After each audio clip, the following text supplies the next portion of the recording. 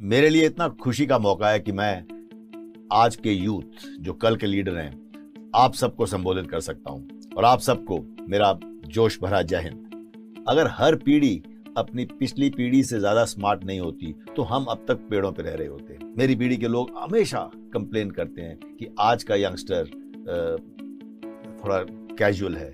ये हमेशा मोबाइल पे लगे रहते हैं। ये गूगल पे डिपेंडेंट से हो गए हैं। और ऑनलाइन गेम ज़्यादा खेलते हैं, खेल के मैदान में कम गेम खेलते हैं, लेकिन मेरा मानना ऐसा नहीं है। मैं समझता हूँ कि ओलंपिक रिकॉर्ड हमेशा टूटते रहते हैं। मैं देखता हूँ कि मेरे बेटे फिटनेस और डाइट कॉन्शियस हमारी पीढ़ी से ज़्यादा हैं। ये आज का जो यूथ है, वो नए नए कार, कारनामे करता है, करतब करता है। In fact they create magic